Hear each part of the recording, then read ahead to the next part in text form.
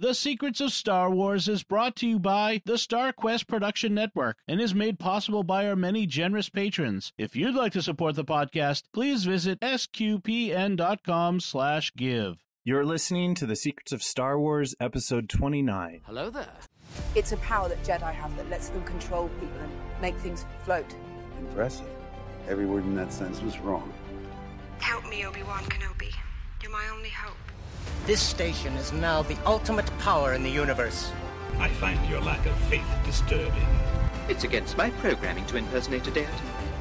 That's not how the Force works. Force is with me, and I am with the Force, and I fear nothing. Remember, the Force will be with you, always.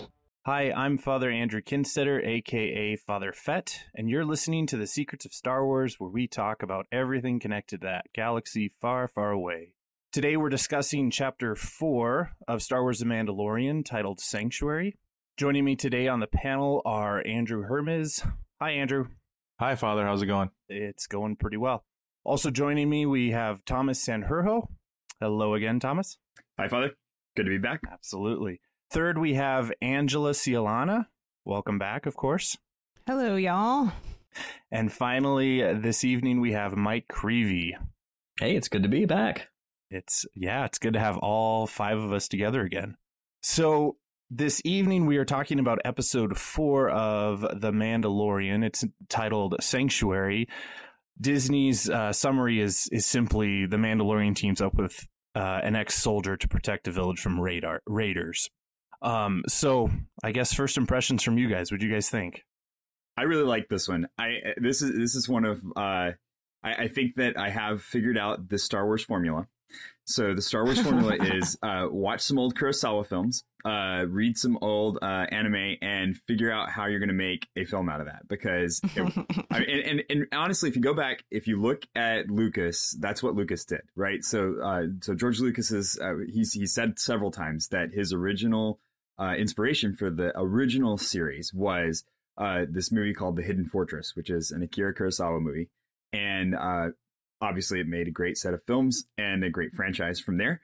Uh, and this one is another one that's based on a similar kind of thing where they took the story of the Magnificent Seven or the Seven Samurai, as it was in Kurosawa's uh, movies, and they made it into um, a kind of shortened version with uh, not quite seven heroes.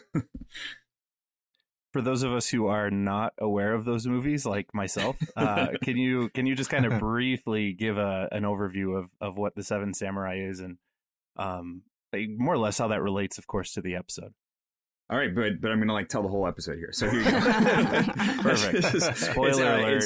Yeah, spoiler alert. Uh, you, you start off with seeing some raiders that are planning an attack on a village, and then the people get wind of this. The people in the village get wind of this, and they figure that they need some way to protect themselves. So they uh, go run off to uh, a nearby uh, town to try and uh, muster up some samurai. So they find these uh, seven ronin, which are samurai that don't have uh, masters, that, that they don't have anybody that's over over them.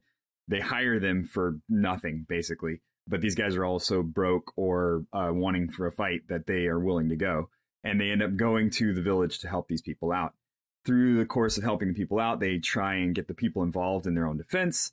And then this huge, uh, surprising uh, uh, thing that the enemies have that they weren't expecting ends up causing a lot of trouble. And they manage to beat it in the end uh, at great cost themselves in some ways. And then uh, they become the heroes of the town. So there you go. in, in a nutshell, really quickly, there it is. it's like a far less violent version of the uh, what, like 2006 Rambo movie. Yeah, like the, yeah, it's like kind of the same thing, but much better. That's a good story. You know, it's it it, it, it's it's like a classic. Um, okay, it's the this group of people that's down and out. They need some help, mm-hmm. uh, and they find it in an unlikely place with these uh, questionable characters that end up redeeming themselves through acts of bravery and um and and attaching to the people of the town. And actually, it reminds me a little bit. This is kind of a stretch, but a little bit of the Book of Judges. You know, like in terms yeah, of yeah, some, you know, not quite the same, but the idea of like a, you know, God raising up the person you need when you need them.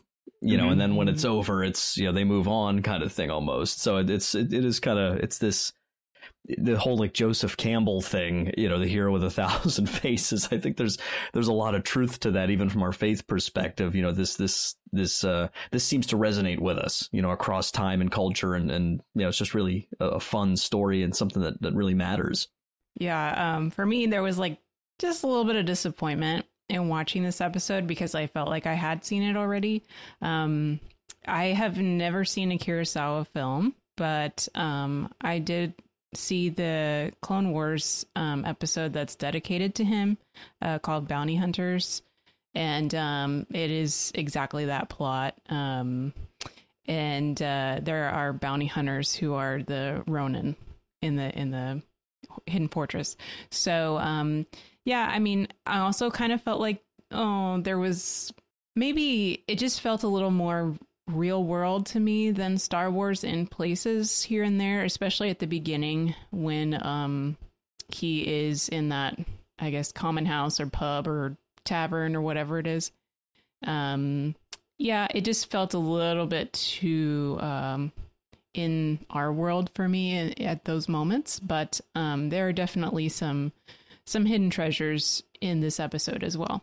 Cool. Well, we'll get to that here in just a minute. Andrew, what do you think? Yeah, I thought the episode um, was great. Uh, I think they're the the show is keeping up its quality. I think this is the most TV type episode.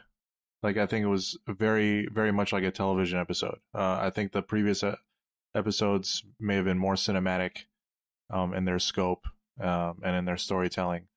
Um, this one, I mean, you know, you had a, a lot of montages that to go by really quickly to you know to to let time go by just you know for the sake of the 40 some odd minute you know runtime. Um and uh you know it was basically you know your villain of the week type episode. Um uh but i, I don't find anything wrong with that. And and i do agree with angela. I, I, the only thing critiques i would have of the episode were i think that bar scene in the beginning yeah uh, just uh, all the interactions like he had with the bartender and and the way it was set up, yeah, I would agree. It was maybe a little too real world and Star Wars universe, but um, uh, especially the way they were talking to each other. Um, you know, it, at one point he said, "What the hell." Like, I don't think I've heard that many times uh, in a Star Wars movie or TV show. Um, do they even know the concept of hell? Uh, they do. It, it's, it's it, a good. it appeared in the new movies. Uh, in the Force yeah. Awakens, I believe uh, Finn used that. Finn used that phrase. oh, well, and, there you go. And Han said it. Your tauntaun will die. You know, I'll see you in hell. I'll so, see you in hell. That's right. right. Yeah, whatever, would, yeah, whatever I, that means. when I was thinking of that, I'm like, if if anyone has said it before, it's definitely Han. Um, uh, but again, yeah, I mean, the obvious. Like, I also thought of the the bounty hunters episode from Clone Wars, and it's an obvious, uh, you know, movie trope that from the Kurosawa film Seven Samurai, like we discussed. But pretty much every movie trope you can date back to a Kurosawa film. So we can't really say true. it's a ripoff. This is absolutely yeah. true. yeah. um, and and and and and that's okay because I think a lot of people, especially this generation, hasn't seen Kurosawa films. So um, if you're going to recycle anyone, he he's the guy to do it. Uh, to to steal from. Um, but overall, uh, and also, um, uh, I'm forgetting her name. Is it Dina something? Dina Carano, who played uh, uh Gina. Gina. Gina. Car- Gina. Gina. Gina, Gina Carano. Carano. Yeah, yeah, Gina Carano. So I totally butchered her name, but I thought um, I've seen her in some stuff. Like obviously, she's only done really like action movies. Um, but I've always thought she was a horrible actress. But I thought she was actually like she did a pretty good job in this one, um, mm-hmm. and she had quite a few lines. Um, so and I thought she delivered them very well. Um, and I liked her chemistry with uh, uh, Pedro Pascal. So Mhm. um, Yeah. overall, I thought it was a great episode. I would just echo more or less what you guys have already said. Um, I don't have the connections that you guys have to the to the Seven Samurai or even the Clone Wars episode. So for me, it was all fairly new and exciting. So that was that was a lot of fun. Uh, the other random question that I keep having is, is I keep wondering where these characters are going to show up again because so far, like uh, uh, and I'm blanking on his name, but the Ugnaught like showed up for the first two episodes, and I have Oh, no wow. idea if we're going to see him again. Yeah. and I'd like to. Um, you know, and I'm assuming that we're going to see, uh, that we're going to see Cara Dune again, but how and where and why, don't know. So, um, yeah, it was kind of a self-contained story, and even the planet I thought was beautiful, but I wonder if we're going to come back to it. Um, some couple things to point out quick before we get into the recap. Um, this episode um, is already episode four, so we're already halfway through the Halfway. season. No. yeah, which is which is sad because I'm I'm definitely um, enjoying it and and wanted to go more than just eight episodes. The other thing that I thought was interesting, and I don't. I, I wouldn't know how to describe it or or notice anything about it, but the director of this episode was Bryce Dallas Howard, and Mhm. her father is Ron Howard, who also directed um, Solo: A Star Wars Story. So that was kind of a fun connection. Um, it's the first uh, appearance of of Cara Dune, and it's also the first appearance in a TV, a live TV setting of a Lothcat. Yes. Really? So Yeah. yeah, Yep. That was From exciting. Rebels. Yep.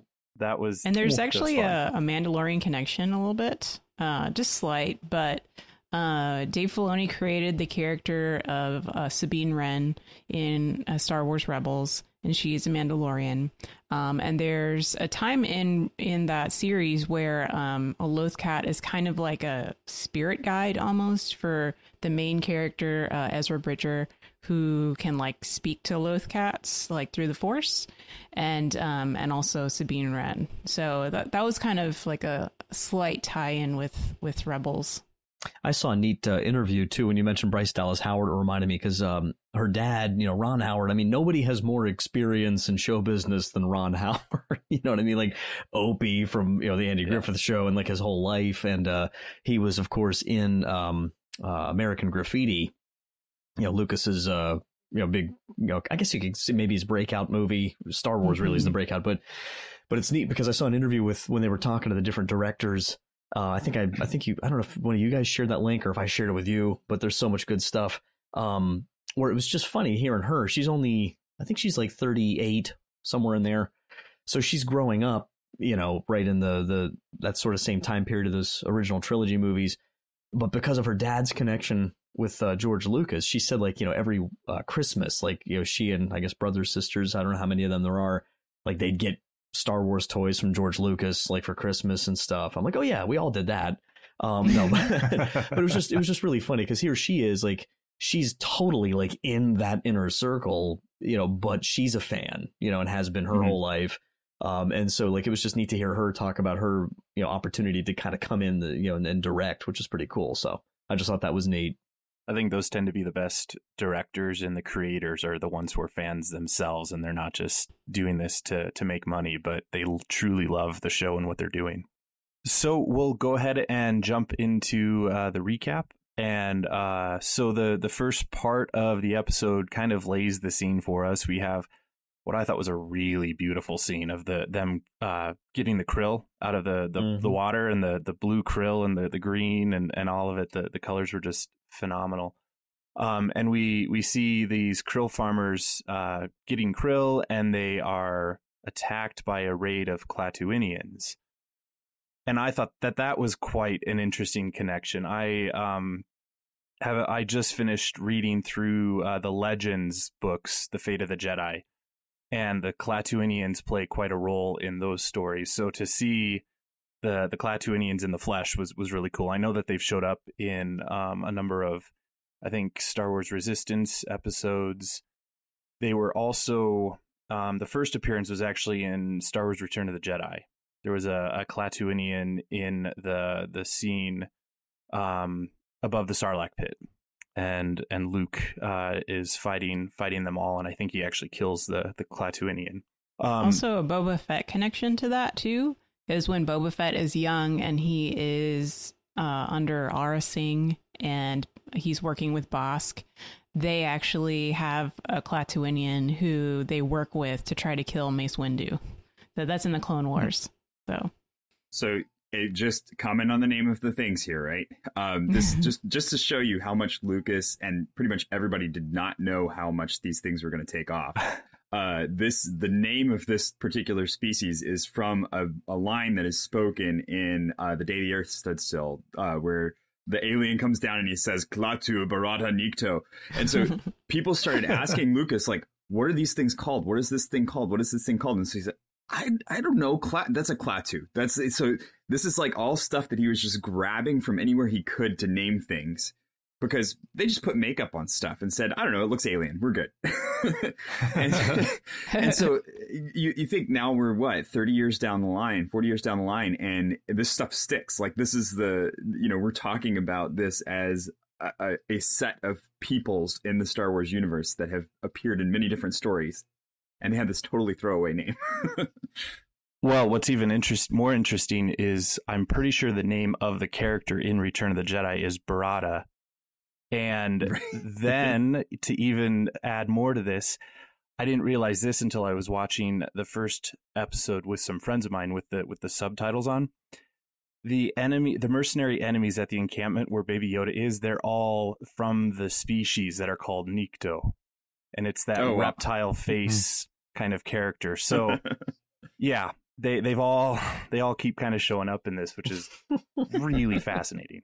So we have the the raid on the farmers, and so we know that they're obviously in peril. And then we have uh, the Mandalorian and Baby Yoda on their way to this uh, random backwater planet called Sorgan, and have another in, uh, really adorable little scene there between Baby Yoda and the Mandalorian, where he keeps playing with the controls on the on the the the controls for the ship. And there are a ton of memes about that out there already, and I'm sure you've probably seen them with the different radio or the different random songs that he's trying to play, and and Dad the Mandalorian is shutting him down. So mm-hmm. those are those are yes. my my wife my wife's one complaint about it is that he keeps giving him things that he can choke on. She's just like, don't get, he's he'll choke on that. Stop that. Well, and then he's like, okay, I'm gonna leave. Don't touch anything. Don't go anywhere. It's like, do you know so this kid by now? Like, seriously, he's gonna go somewhere and he's gonna touch something. He's, he's better such, for him to be with you. he's such a new toddler dad. He's like, he's like, got it, understood, great. You know, and then he's there. He's just kind of sighs and says, "Okay, come along." Uh, and that's actually where he leads him right into that that tavern scene, that common house scene, and um, the loth cat, and and we have the interaction between the Mandalorian and the the the waitress. Um, and he orders bone broth for Baby Yoda, and there was an interesting moment there where he didn't order any food for himself, and and that kind of plays a role later on because we learn that he never takes off his helmet in public. And so obviously to to eat and to to eat soup, he would have to remove his helmet. Uh, a friend of mine was was saying he must just eat smoothies all the time if he can never take off his helmet. That was my question too, so I'm glad they answered that. Yeah. How does he eat? yeah. Um, but then he sees Cara Dune off in the distance and and inquires about her and chases her out of the out of the the tavern there and gets into a fight because she thinks he is pursuing her as a bounty. And Baby Yoda just sips on his broth and watches the whole thing. I'll tell you, and, and, another meme was born. Everybody's fists in Star Wars must be made out of iron because they punched this guy so many times, and I can just tell you, like, punching a person hurts a lot. So I can only imagine what punching a Beskar helmet must feel like. um, so they kind of have their little little stalemate thing, and they they both go back into the tavern and start to to talk a little bit. And we learn that Cara is an ex rebel shock trooper. Um, but she's become a, a mercenary. Uh, she became a mercenary and is taking an early retirement on this planet, whatever whatever that ultimately means. Um, and the Mandalorian recognizes that the world is apparently too small for two of them, and goes back to his ship to take Baby Yoda elsewhere. And, and I, I love that. Li- I love that line, by the way. That you know, like, planet's taken. I'm like, the whole planet. just sitting there, like, fly somewhere else, man. Like, come on. well, and essentially, that's that's kind of what he what he does once he's approached by these two uh, these two krill farmers is he he recognizes that there is a way for them to both work together and be on the planet because he's approached by these krill farmers who were uh, attacked in the raid they offer him credits and but i think what what grabs at him more is not the credits because he makes some comment that uh, the credits um, aren't going to be enough but they mention that they have lodging in the middle of nowhere and i think Mhm. that that was what caused him to say okay we can we can make this work um and so he takes the credits and he recruits Cara to come along and help defend the the farmers against the raiders and I think his idea there would be to to protect them, and then if it's in the middle of nowhere, surely they could coexist out there. Um, they go to the village, and we are introduced to. Well, we were introduced right at the beginning of the episode, but to to Omera. Uh, she's the the Mhm. uh, the the lady who uh, shows the Mandalorian where he's staying, and her daughter Winta kind of meet him, and they they talk for for just a little bit, and that's uh, where we where we get that scene where uh, Winta wants to feed Baby Yoda and go out and play with him, but that's also where we learn more about uh, the Mandalorian and his helmet because she asks him about it, and he, that's where he reveals that he can only take it off in private, and he's never been seen publicly without his helmet since he was uh, a kid. I find it really interesting that so many people know about the Mandalorians. Because I mean, you're talking about a very, very backwater planet here, Mhm. and, and his reputation just by being a Mandalorian precedes him. They know something of the religious nature of the Mandalorian. So this is, I think, I mean, this is. It feels to me the closest thing that we have to like a really massive religious uh, following uh, that's different from the Jedi, but just as as as well known in the Star Mhm. Wars universe. Legendary. I guess I was surprised at at how comfortable they were in approaching him. Because if Mm. if the Mandalorians are kind of known to be and I and I guess I don't really know what they were known to be, but the Mandalorian is obviously known to be a good bounty hunter and ruthless in his pursuits of bounties. Uh, and yet these two krill farmers seem to be fairly comfortable in approaching him with this with this job offer. Well, they did. To me, they seemed a little bit nervous. They kept sort of Mhm. stumbling over their words and um, repeating things. So, to me, that uh, uh, signaled a little bit like they weren't comfortable necessarily around him. But um, I, I think that all just kind of showed how desperate they were. Like uh, Mhm. they did approach him, and he is definitely this grand figure, you know. Um, but yeah, I think it shows that they're they're desperate. It's almost a like kind of childlike. Uh, uh, yeah, I'm, I'm sure there's like some some more like Old Testament connections here too. The idea of like the, you know, approaching almost this divine type figure, the supplication, some of the language of the Psalms too. You know, like it's so bold, and it's like you know they don't even understand yet what like what they're dealing with, but it's like they they just kind of know he can help. you know, Mhm. it's like, you know, well, it's these guys are going to kill us. This guy is scary too, but maybe he'll help. You know, and and he's pretty awesome. So I, I don't know. It was just it was I really loved that scene of the two of them. Like, you know, it was just a the the pair of them was particularly funny. I thought. And if you want to stretch that analogy even a little bit farther, um, you almost have a uh, the god, so to speak, the Mandalorian, lowering himself and becoming part of the community and fighting Yeah. for them. And I, I think it's fair to say that he wa- he was willing to risk his very life for the safety of the, the community.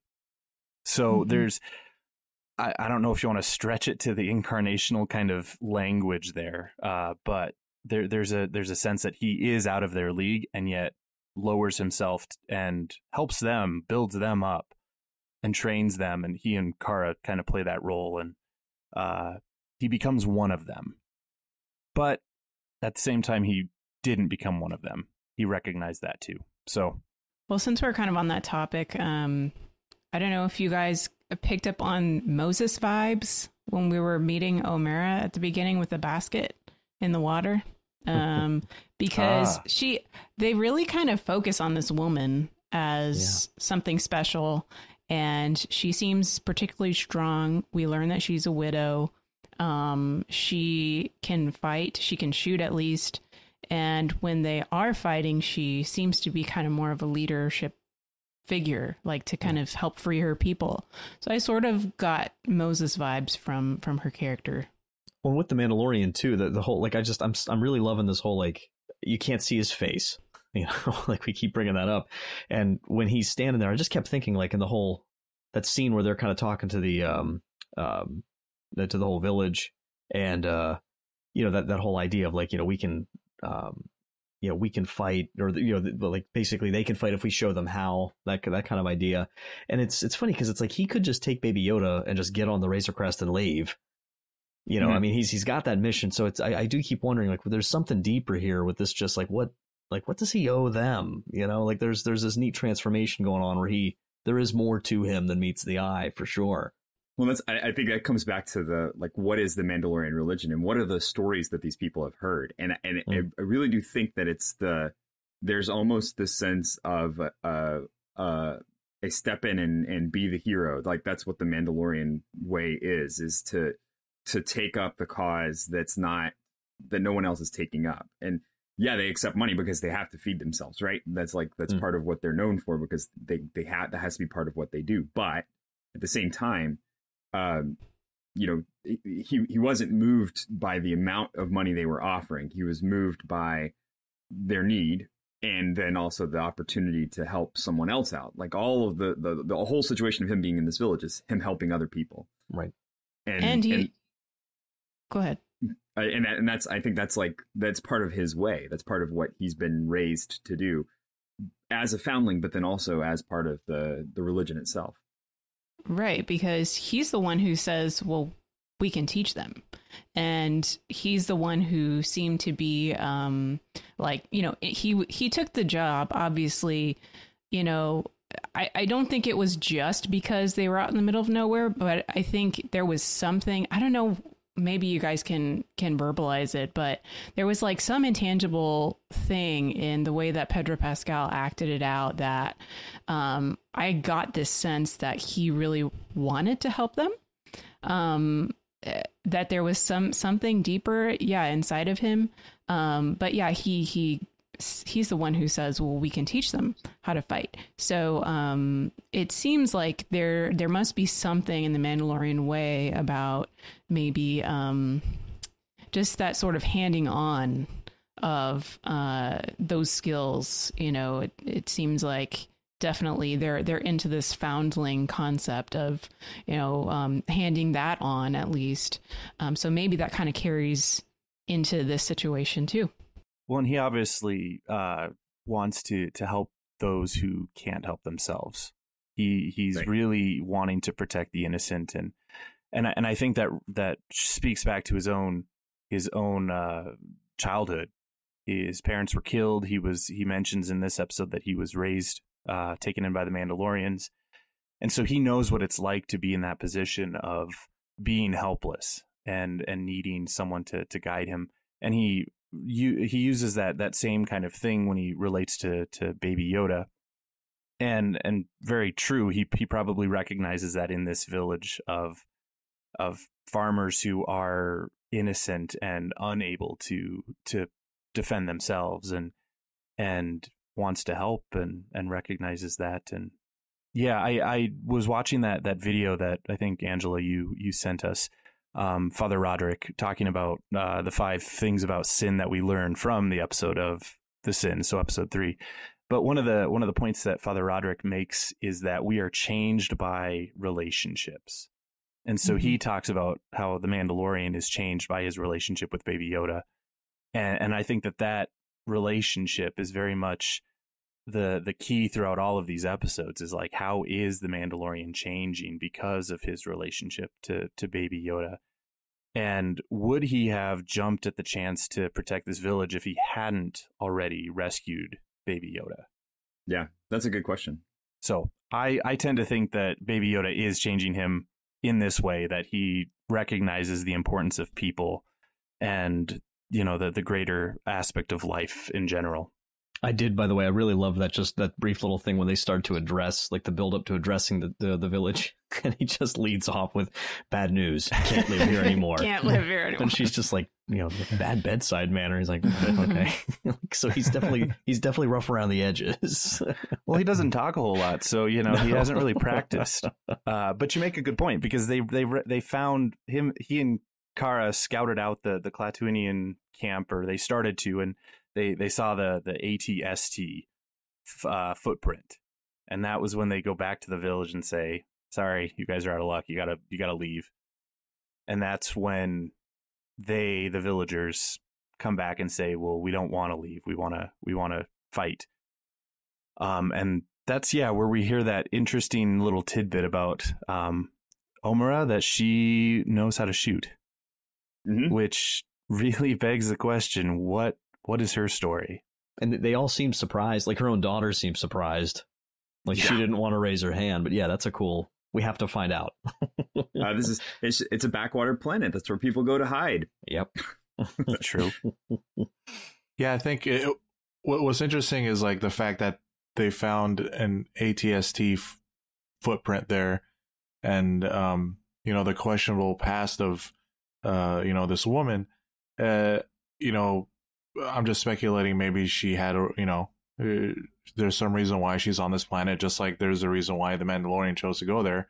It's some far off, you know, distant planet that, you know, you would think no one could, you know, where no trouble could find you. But as we see in the episode, it's that's not the case. But I mean, the fact that there's an ATST there, it shows you the state of the Empire. So it's it's Mhm. kind of like, wow, there. Well, there's just like parts laying around, you know, remnants of the Empire laying around that, you know, these these little tribes or whoever can get their hands on these things, you know, can use to their advantage. Um, and uh, you know, so even though the empire is is fallen at, at, at this point, um, you know, their their weapons are still out there, and the consequences of you know those uh, those sorts of uh, tools, if they're in the wrong hands, could be used at their disposal for um, you know very very bad reasons. Um, so I think I think it's uh, the episode also shine shines a light on on you know what kind of world we're dealing with right now uh, post uh, post Empire. But and two things about that. One, I love that all of the weapons in these sh- in this show have a different sound. So I don't know if you guys have noticed, but like every single weapon has a different sound. So as soon as that uh, blaster came out of the because because the ATST shoots in the opening scene with the opening raid, uh, and as soon as I heard that, I'm like, wow, that's a big that's a big gun that's coming out of the forest there, and you kind of get the sense that there's something large. So I, I knew that's probably where they were going to go with it. But uh, then th- so that's that's really interesting to me. And then we're cycling back to the Kurosawa thing. That was the in the end of the um, the Seven Samurai. Uh, the whole thing's about swords. It's about archery. It's about samurai, and the the weapon that comes in with the bandits is a gun, and it was the gun being in the wrong hands and this dishonorable kind of use of a weapon to just kill uh, was the the whole marker of um, you know these these are the bad guys and the the good guys no matter how uh, you know rough around the edges or Ronin they are they're all honorable because they choose to face their enemies in an honorable way. Uh, and I like that that's kind of the theme that came out of this uh, this show too.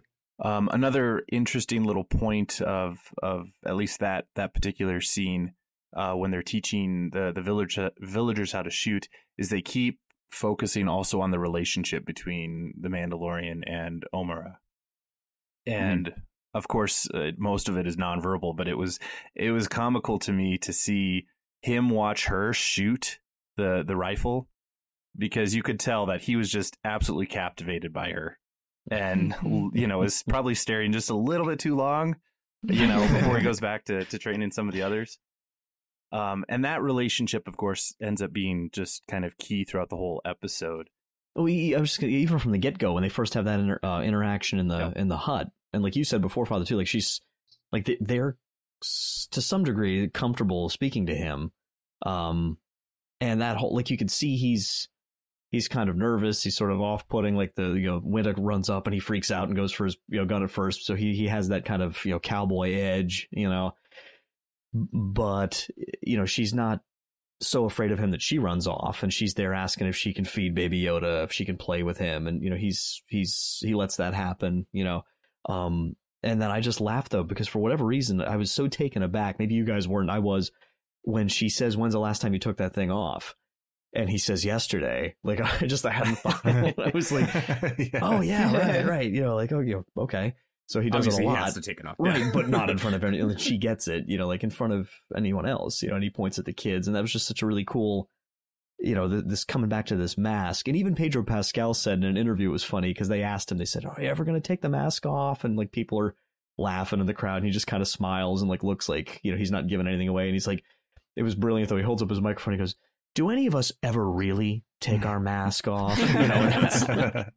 so, but it is. I mean, that's actually a big part of the show, of course. But you know, he was really just just kind of teasing that one out there. I thought that was pretty mm-hmm. funny. So we'll see. But it's cool because in that same exact scene, he does take Yeah. off his helmet. Right. We just we just can't see Yeah. it. We just don't see his yeah. face. Right. Yeah. And the, the music was really like compelling right at that moment. Like it kind of focused in on little baby Yoda, you know, and the idea of like it's just somehow it's like there's this this still this distance between the two of them, Mhm. but it's like a little le- like it's you know it's a little less far than maybe with anyone else. There's there's something this extra intimacy between them. It's just so cool. Yeah, another thing that I thought was interesting um, was the fact that he said that if he were to take his mask off and people saw him, he would not be able to put it on ever again. Uh, so I thought, like, you know, that's something I didn't know about the Mandalorians. That's the first, you know, thing, uh, the first time I ever heard of, you know, that rule or whatever you want to call it brought up. So uh, I don't know if it's something that's just specific to his tribe, if he's even part of a tribe. I mean, this so far it still seems like maybe he's part of just this offshoot group of, you know, Mandalorians um, uh, that are just scattered. Um, or is it is that is that like religion for all Mandalorians? Um, and I why don't is think that? I thought. I thought it was I thought it was interesting. Um, yeah. I don't think it's yeah I don't think it's uh, Because yeah, in Um, the past we've seen Mandalorians take Oh, yeah. on and off their helmets Right. in, Like in all the the time. animated series. Yep. Um, and so I think my guess is that this is a band of Mandalorians that are trying to survive. You know, the armor talks about their survival uh, is like really essential to them, and uh, that they have probably just established this rule to uh, to support that survival. Um, so that you know the anonymity is probably really important for them at this point. It might also be a rule for him specifically as a foundling that he uh, Mm. he can't be separated from it. Although the the sect that he's part of, they all seem to wear their masks all the time, so that's uh Mhm. you know it's kind of a thing for them possibly. But uh, you know, and or it, I, I was thinking about this too. Like it could be just something that that's that's a discipline that he's taken on himself. Like he knows that that that's something that if he takes the mask off, that he's done. Hmm. That he's decided to do this. He's committed to it fully, and he knows that as soon as he does take the mask off, um, that means that he's so closely connected to someone that he can't, in good conscience, go back to the life that he's leading now. It's almost Mm. like penitential. It's like his hair shirt or something. Right, Like, It's so cool. Like it's yeah. Kind of like a wedding ring to Or- me. oh yeah, yeah, Yeah. yeah, yeah yeah. Priest, Wow. priest's collar. right, Yeah. right.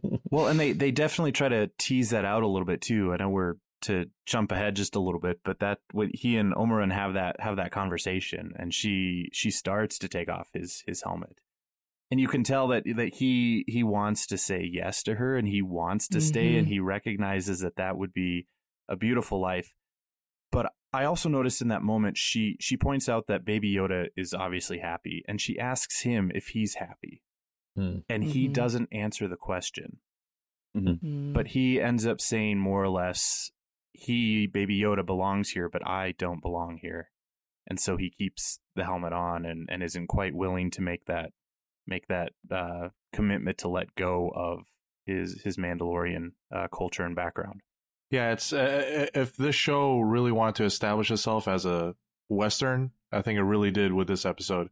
I mean, yeah, I mean from from other than all the obvious like uh, things that we talked about, it, the influence from Kurosawa and Magnificent Seven um, to the music, but you know, you have this this woman who's you know, not a damsel in distress, but a very able and and and like very um, you know, core piece of the the battle.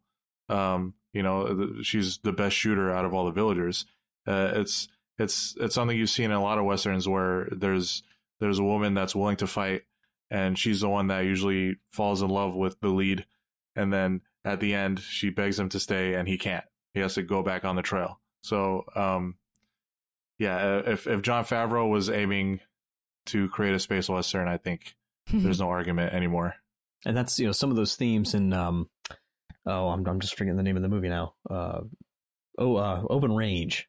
Did you guys ever see that with Mm. uh, Kevin Yeah. Costner and Kevin and, um, Costner. Yeah. Oh, Robert Duvall. And he now he you know spoiler alert he doesn't quite go off to the distance in the end, but there's like they really have that on the edge there, and like it, it really kind of matches that. Um, so a lot of that same feel, like these guys who, you know, um, in his case, that has like a dark past. We don't really know a lot about it. You know, he was sort of a a shock trooper type guy himself, and now he's trying to just you know stay away from all of it.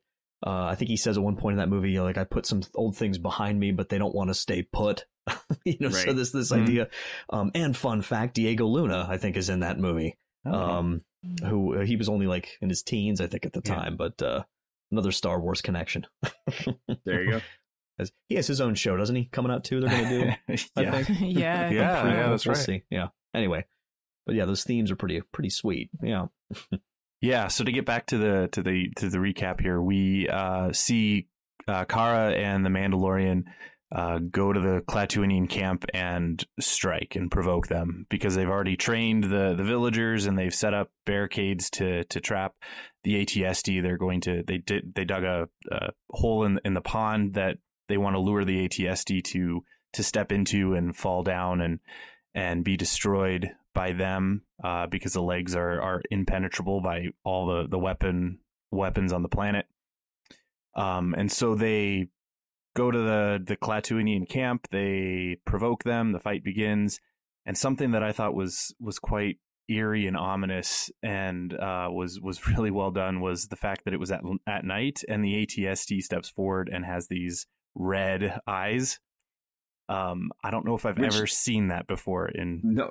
And my kids ask, my kids are like, oh, why does it have the red eyes? And I can answer that question. it's because if you were inside of this tank like object at night and you did not want to mess with your night vision, you would have red lights. And Yep. so Hmm. that's that's exactly the reason they do it.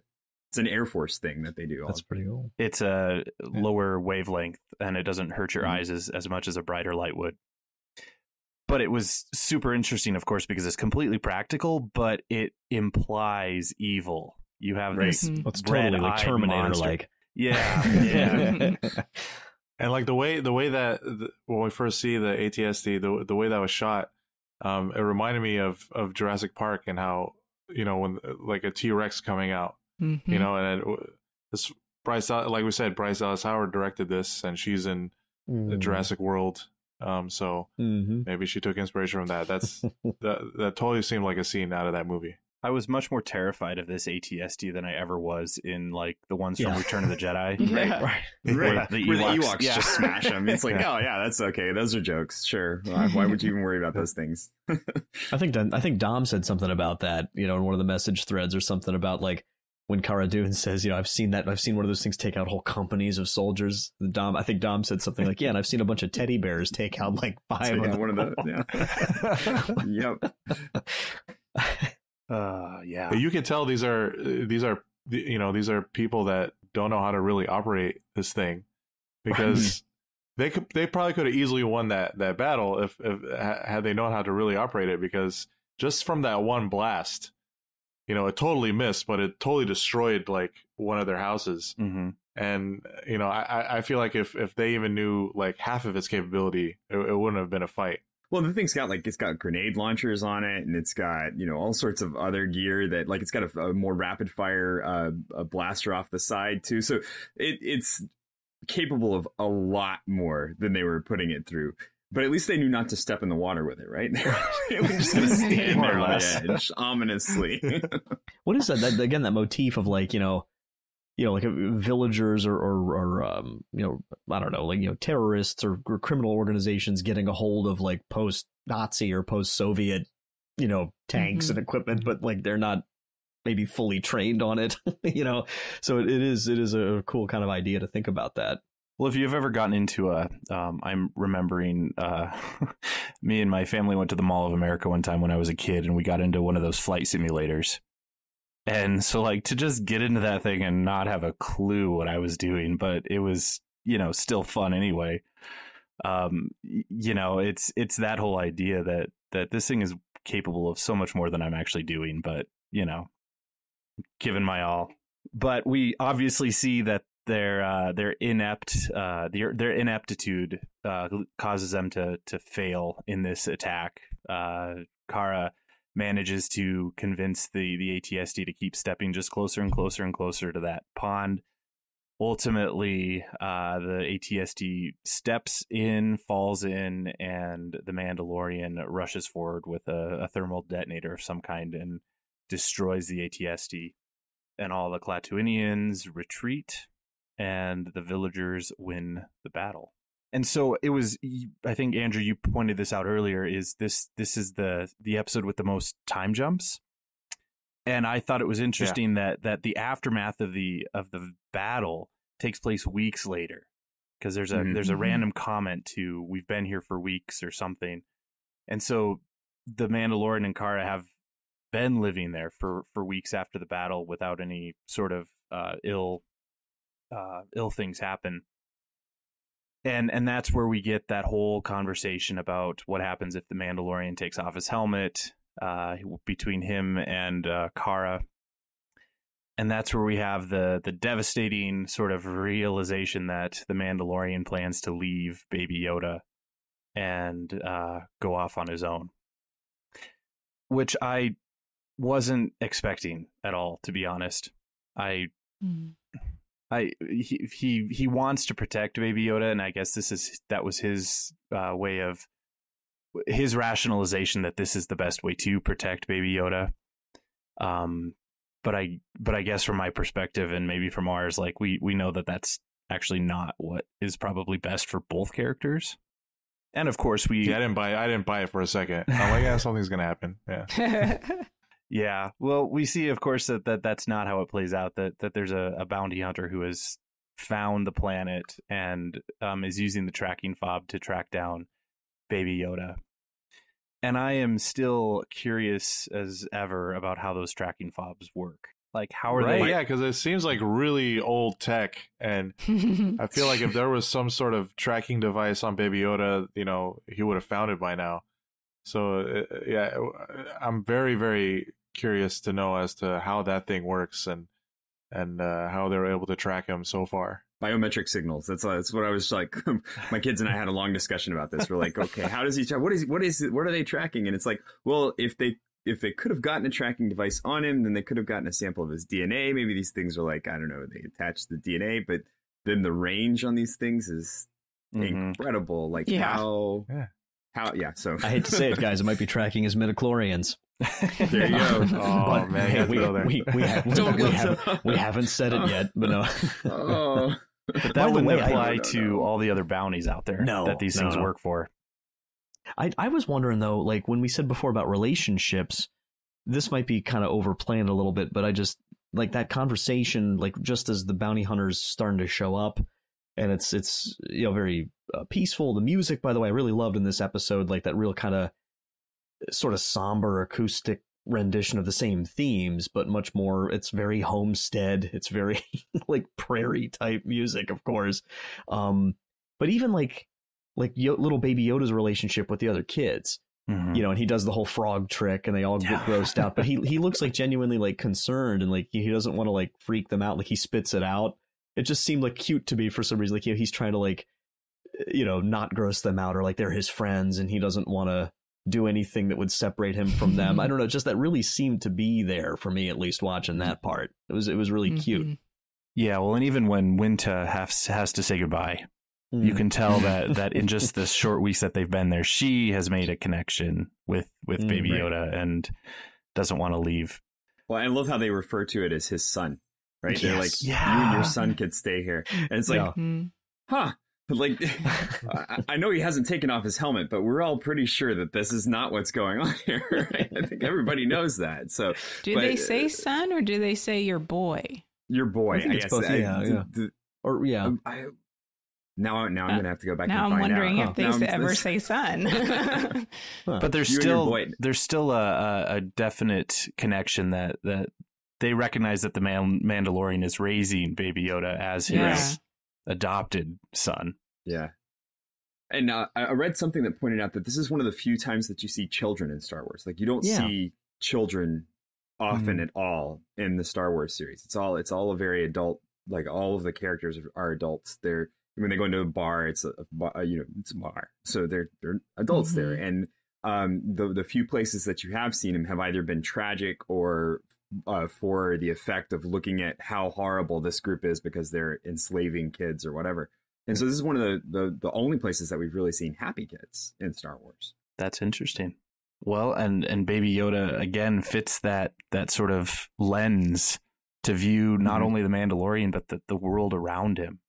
Um, well, that's pretty much the end of the episode because once once they all have to say goodbye, Cara of course takes out the the bounty hunter, and and the Mandalorian recognizes that he can't, in good conscience, leave Baby Yoda behind, and so he decides to take him and uh, and leave. And um, again, I, I mentioned this at the beginning of the show, but I, I really want to know, and I, and we'll get to it, I'm sure, but how Cara comes back into the story because I'm I'm sure this is not her uh, her final scene in in the Mandalorian, but it seemed to imply that she was planning on staying behind at the village, and the Mandalorian and Baby Yoda are heading out to find a new hiding spot or wherever they're going next. And I think too the um, uh, I, I my fear was I didn't I don't know that I really like it's it's hard to try to like remember accurately, but I I was getting nervous in the build up to like zooming in like the sniper zooming in on Baby Yoda. Um, I didn't really think they'd do that, but I I I don't know. I think what I kept coming back to is it's just there's way too much we still need to know. Like more for us maybe than the characters even in the show. It's like Mhm. it's like we know that this fits into a much bigger story.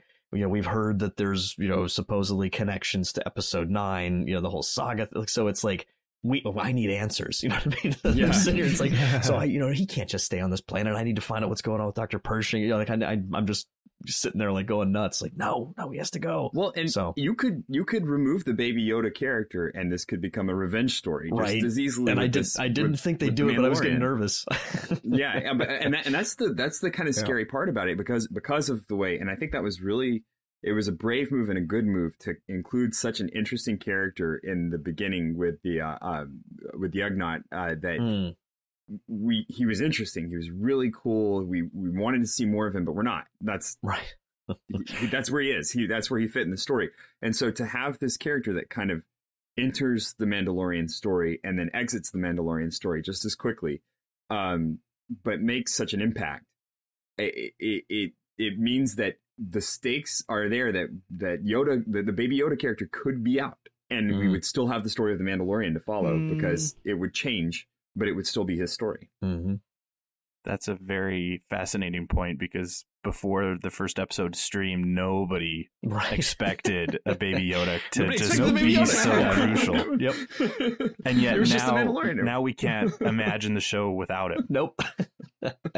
Yeah, if anything happens to Baby Yoda, oh. it's just like having a kid. Oh my gosh. Yeah. Jon Favreau has to know that at least as much as all of us do. Yeah. Oh yeah. We'll see. Well, that's why they've all been so so. Uh, they've done such Oh. a good job of keeping this under wraps. Like it's been I couldn't believe it. Yeah. everybody who's known has been, done such a good job of keeping this under wraps. Uh, any other final thoughts on the episode before we wrap up?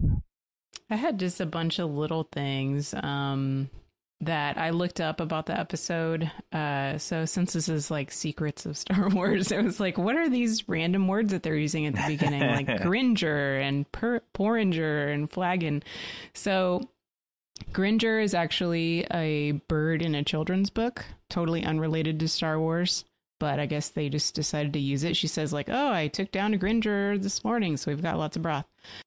Porringer and flagon are real words. So a porringer is a bowl, and a flagon is a something you can use to put liquid in.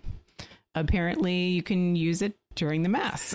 often, often a flagon is what's used to uh, to bring the wine from um, in, during the collection to bring that up to the priest. So yeah, often that's the word for it. Cool. Um, spotchka, so that's a made up word, but it comes from a Russian word that means uh, stumble. So I thought that was kind of funny um, that they would name an alcoholic beverage that. Uh, at least we assume it's alcoholic. Awesome. Yeah, it, that stuff looked so cool when the the, uh, the, Raiders were drinking. Is that glowing blue? I want some spotchka, man. That, that looks amazing. yeah. So those vats that were in the the Raiders tent thing were those spotchka vats? Like yeah, they were spotchka. They were, they were brewing okay. the krill. Yeah. Yeah. I was wondering what that was. Um, and then and it's those those shrimp too in the beginning. Yeah, they they were yeah. like translucent yeah. and glowing blue. Yep. Yeah. Yeah. Yeah, and apparently they, they make similar. good beer. I, I want some. Wikipedia said they're made from that, or that's the the krill things, I guess, or whatever. Somehow, yeah. So that's cool. Yeah. Oh, okay. um, and then a couple things we didn't mention were um, they finally named the rifle. They called it a pulse rifle. Mm. um, so apparently it has something to do with the ion pulses. That's how I can um, disintegrate people. And it's highly uh, illegal, exceptionally illegal. Which is I. I mean, uh, really, they didn't even need to set up a defense system. Just have the uh, have the Mandalorian sit there with that thing and shoot a few of the Raiders as they come in, and they're going to lay off. You know, I'm not, I'm not coming back after that. Yeah, and my last note was just that um, in this episode we learned that the Mando's mask can have like infrared vision because that's how mm. he could track the the footprints. So well, I don't think we've ever seen that before. Kind of wondering yeah. how that worked because it was more like I wasn't sure if it was infrared. Would you actually leave heat residue in footprints, or was it more?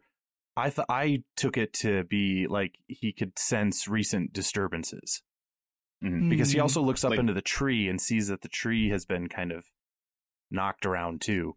But it looks like infrared definitely when they kind of show that mm. that scene. But it's definitely tra- cool stuff to cool stuff tra- to learn. Tracking computer, tracking computer. Turn on your tracking computer, and then it, it goes. Oh, here's some important stuff. for all for all you D and D nerds, it's plus five to tracking for that. That's how, that's how it works. the only the only thing I had was just really simple. I, it was just a quick little shot. I don't know why it affected me so much. Um, I was just well, maybe I was I was just doing a uh, recent podcast on um, stargazing and just the whole why I think that's important, but that's a whole other thing. But then I noticed maybe just because I just done that when they get on that little um um whatever you call it, like the hovering bed, you know, they're following the farmers out, you know, being sort of towed out to the mm-hmm. uh, the farm, and just that little shot, like little little baby Yoda laying on there and looking up at the stars for like mm. two seconds, and um and then it just cuts right to the daytime. But for some reason, it just it was just a really kind of neat moment, I thought. And it was a little reminiscent of that last shot at the end of The Last Jedi with the kid, you know, the, the little farm kid, you know, and just, just in one quick shot, maybe so much of, of Star Wars kind of, you know, summed up in one little thing, like that idea of like looking up, imagining, you know, I don't know, hope, possibility, just the big expanse of, of the universe, all this kind of cool stuff. I just thought that was a neat little thing to put in there. Yeah, I think um, just a comment on the show going forward. Um, I'm just hoping that uh, you know now that we're halfway through the season that you know we we start getting into more of the story and the bigger picture who's really behind this and you know uh, and and with this eight episode you know uh first season i think you know the they really can't waste any more time like not, i wouldn't call this episode a filler episode but um, like I mentioned earlier, it was just very reminiscent of like, you know, your villain of the week type episode of it, you know, of a season, um, just to kind of transition you, uh, you know, to the, to maybe the climax of the show that that we're approaching. Um, so hopefully, I would hope that the next episode, you know, kind of veers more to that territory. Yeah, I, I think we get the moment where it's like, okay, let's take a breather but we can't do this permanently. Like we can't be done. There's no there's no way that that you can just stop and and finish here. And um yeah, and I I think I, I like that we're having these characters that are touching his life and leaving, but making an impression on him. Uh, and I, and I think it's so good to have characters that have a backstory that we're that we don't need, but that we're interested in. Uh, so like Omera's character is the, the the best example of that, where it's like, why is she a good shot, but living in this little uh, fishing village in the middle of nowhere? Uh, because we can fill in those blanks ourselves, and that's what so much of that, that's why the Star Wars franchise exists the way it does, because there were so many of those tiny little things in the original series that were just thrown in because they they wanted to fill the world mm. and and now it's expanded into this huge thing and we forget sometimes that it's it's okay to have those questions. Like we don't need right. everything tied up because that's what leads to this bigger world uh, that's really lived in that's really uh, something that feels uh, like a galaxy long ago and far far away that really was actually there. On that note, I, I do really appreciate the the smaller scale of of the plots of these episodes because after after watching you know recent TV shows, whatever they might be, it's always you know bigger, bigger, and you know the world is going to end, and and I mean the universe is at stake, and I mean and and those things are a lot of fun. I mean you know Marvel and DC do a really good job of that but it's also nice to just have kind of a, a, self-contained little story that actually doesn't relate a whole lot to you know that it relates to the bigger world and we know that baby yoda is going to relate to the bigger world and we don't know how but these events are sort of you know isolated or like the second episode where he just has to go get his parts back from the jawas doesn't really mean a lot in the grand scheme of things but it was a really cool fun story to to see play out and so i appreciate the just the slower pace lets me like breathe a little yeah. bit more and digest it and hmm. and and I really appreciate that. Yeah, it's it's it's like those Marvel uh, Netflix shows like Jessica Jones and Daredevil, Punisher. It's like we know these characters exist in like the big Marvel universe, um, and they they you know they'll reference you know the events of the Avengers movies here and there, but the stories are really just about them and and and their world and their their part of town, usually just a borough of New York, and uh, it doesn't really expand outside of that. Yeah, I, we, have been talking about that same problem with some of the other shows we're watching too. Uh, the the just the the creep of the the scope of the show. Like my my uh, my daughter and my wife are watching Riverdale right now. And the show started off fine, you know, like a kind of modern day Archie comics kind of feel. And now it's like gotten to the point where it, like every single decision the characters make is about uh, being in a gang or being in the mafia or like this huge, like completely out of control thing. And we're like, holy cow, I mean, the show was good. It could have just kept doing what it was doing and not, it didn't need to get into all of this territory to be a good show. yeah. Well, we'll see where, where the Mandalorian goes with this, but I'm definitely excited for Friday. Cool. Well, that's it from us. Uh, what did you think of episode four of The Mandalorian? Be sure to email or comment on our Facebook or Twitter page and let us know. You can email us at any feedback at starwars at sqpn.com. And you can find StarQuest on Facebook at facebook.com slash starquestmedia and on Twitter at sqpn. We'd like to take a moment now to thank our patrons who make it possible for us to create the secrets of Star Wars, including Cindy M., Daniel C., Sally H., Gregory F., and Darius M. Their generous donations at sqpn.com slash give make it possible for us to continue the secrets of Star Wars and all the shows that we make here at StarQuest. And you can join them by visiting sqpn.com slash give. Also, be sure to subscribe to the show in Apple Podcasts, Google Play, Stitcher, TuneIn, Spotify, iHeartRadio, or wherever you listen to your podcasts or also on the SQPN YouTube channel. To find previous episodes of The Secrets of Star Wars, please visit sqpn.com slash Star Wars. And we'll be back next week when we'll be de- when we'll be discussing the fifth episode of The Mandalorian. And until then, Andrew Hermes, thank you for joining me and sharing the secrets of Star Wars. As always, thank you for having me. Absolutely. Thomas and Herho, thank you for joining us as well. It's been a pleasure. Angela Cialana, thanks for joining us. Thank you. Absolutely. And Mike Creevy, pleasure having you on board as well. May the force be with you guys. And with your spirit. With your spirit. with your spirit. Gets me every time. and once again, I'm Father Andrew Kinstetter. Thank you for listening to the Secrets of Star Wars on StarQuest.